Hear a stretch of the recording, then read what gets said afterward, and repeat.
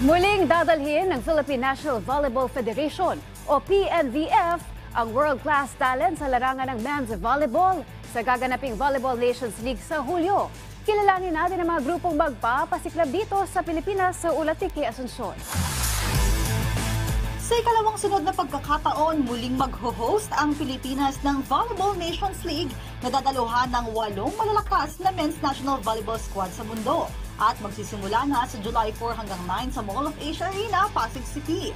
Kasama rito ang world number 4 at 2022 FIVB Volleyball World Champion Italy, world number 1 at two-time FIVB champion Poland, 2016 Rio Olympics gold medalist and world rank number 2 Brazil, world number 9 Slovenia, ang most popular team at world number 7 Japan, samahan pa ng world class Canada, Netherlands at China.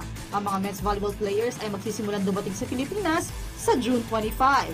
Ang Pilipinas ang magsisilbing host sa ikatlong linggo ng aksyon sa ikalimang edisyon ng FIVB Sanctioned Men's Tournament. Ang ibang mga lugar na paggaganapan ng VNL ay ang Canada, Japan, France, USA at sa Poland naman ang finals. Uh, it will be a different Volleyball Nations League.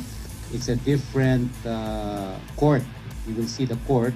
I know you've seen it on TV, but it's the first time that we are using a different color of court.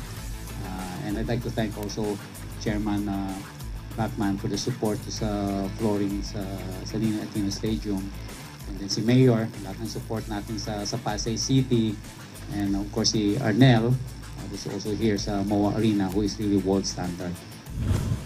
Dinaluhan naman ni Philippine Sports Commission Chairman Richard Dicky Bachman ang VNL official launch na siniguro ang kahandaan ng mga practice area ng mga foreign clubs. Unang maglalaban ng Brazil at Italy dakong alas 3 ng hapon at Japan at China naman ng alas 7 ng gabi sa July 4. Uh, this is new, new sport to me. And since I became PSC chairman, I've been watching the volleyball. I've been following volleyball. Okay. Uh, with regards to PSC, I just came also from Ninoy Aquino.